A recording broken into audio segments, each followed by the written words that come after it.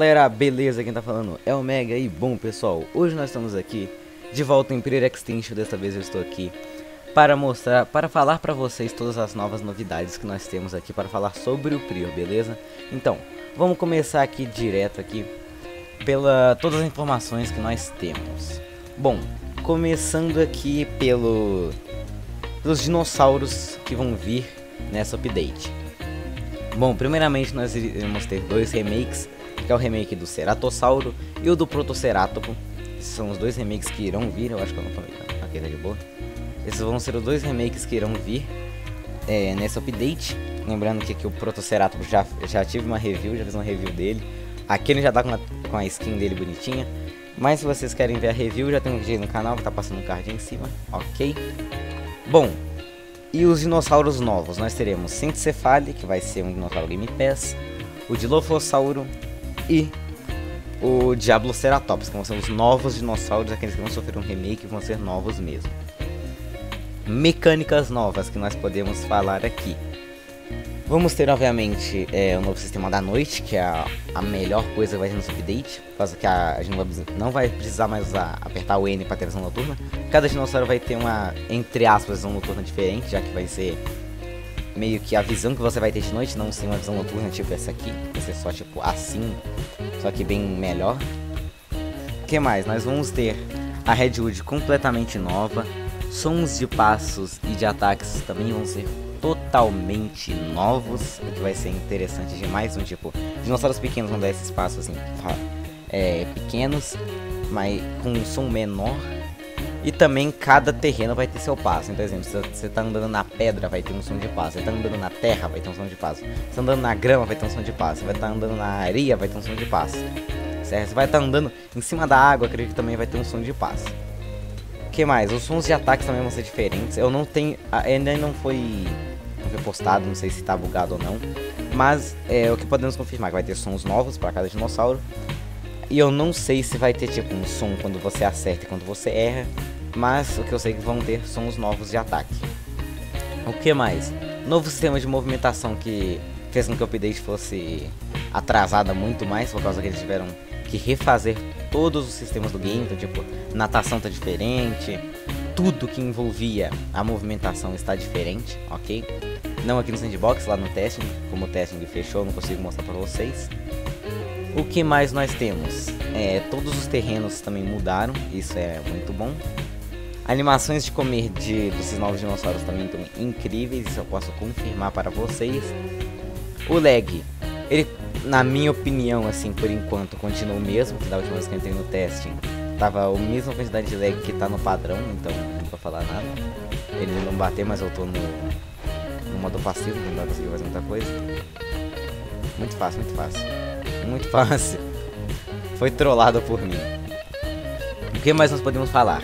Bom, sobre esse update, a última coisa que eu posso falar pra vocês é um sistema de folhagem dinâmica. Como vai é, funcionar. Ainda não temos é, 100% de certeza de como vai funcionar esse sistema, mas eu acredito que seja o seguinte, você vai estar tá passando aqui na grama, a grama vai dar uma mexidinha, vai passar dentro da planta, vai mexer só na parte da planta que tu passou. Eu acho que vai ser isso, a gente não tem comprovado. E por último, também, o sistema de cavado do Protoceratops que já está pronto, só não foi aplicado ainda, que ele vai cavar, fazer uma toquinha, você vai poder entrar lá dentro e pronto, vai ser bonitinho o Protoceratops fazendo toquinha. Sobre o update da noite é isso. E agora nós vamos falar sobre as novidades da próxima update que vai ser depois da noite. Que eu vou estar até ainda ali, ó. Vamos lá. Chegar dentro dos dinossauros que temos dois novos dinossauros. Quais são os dinossauros confirmados para a próxima update? Alossauro, Torvossauro, Iguanodonte e Diplodoco são confirmados. E um dinossauro herbívoro secreto que ainda não foi revelado, ok? Ali na frente vamos pegar os modelos. Eu acho que o do Torvo ainda não tá lá, mas o do Halo, do Iguana e do Diplodoco já estão. Vamos dar uma olhadinha lá. O que vai vir nessa update depois da noite? Vamos ter... Vai ter apenas um novo sistema, que vai ser o sistema dos fósseis. Como vai funcionar os sistemas dos fósseis? Podem ver aqui, ó. Que além disso, do halo pra cima, então, tipo, halo, iguano, é, diplo, desses bichos aí que vão vir, torvo também, eles vão ter uma fase nova, vai ser o subadulto. Então vai ser tipo, filhote, juvenil, não, vai ser juvenil, adolescente, subadulto e adulto. Vão ter quatro estágios. e como vai funcionar o sistema de fósseis. Que susto! Os fósseis vão funcionar da seguinte maneira. É, cada dinossauro vai ter uma quantidade de fósseis, então tipo o alossauro provavelmente vai ser o comum, o fóssil comum, acredito. Então vai ter que precisar, sei lá, pegar 5 fósseis para completar. Como vai funcionar? Os fósseis vão ser opcionais. Um exemplo aqui, o alossauro sem pegar os fósseis vai estar tá custando 45 mil de âmbar.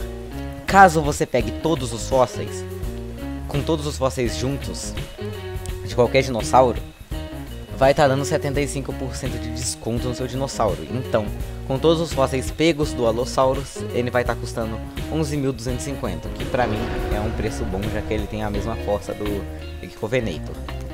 O Iguano, por ser mais forte, ele vai estar tá custando 60 mil de âmbar. Sem os fósseis, acredito que os fósseis dele sejam incomum ou raro, então vai ter uma quantidade maior de fósseis, mas vai ser a mesma coisa, vai custar mais barato, porque o Saber vai estar tá custando em, em, torno de 25 mil, 11 mil, não 11 mil não, acho que vai ser 15, 16 mil por aí, 14 mil, com todos os fósseis. E o Diplodocus a mesma coisa, o dele acho que vai ser raro por aí, vai, vai pegar mais fósseis, que ele vai estar tá custando 120 mil com todos os fósseis, ele vai abaixar 35% do preço, que acho que vai lá para os 25 mil, 30 mil por aí. E vocês podem ver aqui o modelinho do Iguano, que vai ser o primeiro que eu quero mostrar para vocês, bem da hora, com esses dedão gigantes que vai funcionar para ataque. E também o Diplodoco, que pra mim tá muito incrível, esse Diplodoco bonitão. Será que ele muda a textura se aumentar os gráficos? Ainda não, por enquanto é apenas um modelo sem a textura ainda. Vou aqui os gráficos. O Torvo ainda não está aqui, mas o Torvo ele vai estar tá custando em torno do mesmo preço do Iguana, que vai ser até 50 mil por aí. Vai estar tá aparecendo aí o preço do Torvo na tela. Eu não tenho certeza muito bem, mas lembrando que os fósseis vão tirar 75% do preço do dinossauro. Então, eu sugiro que vocês peguem todos os fósseis que aí o Dino vai ficar bem mais barato. Um exemplo disso, o Rex. Vamos pôr entre aspas aqui que eu não lembro mais o preço do Rex. Vamos pôr que o Rex vai custar 500 mil de âmbar. Se você pegar os fósseis, ele vai estar tá custando em torno de 50 mil de âmbar, por aí.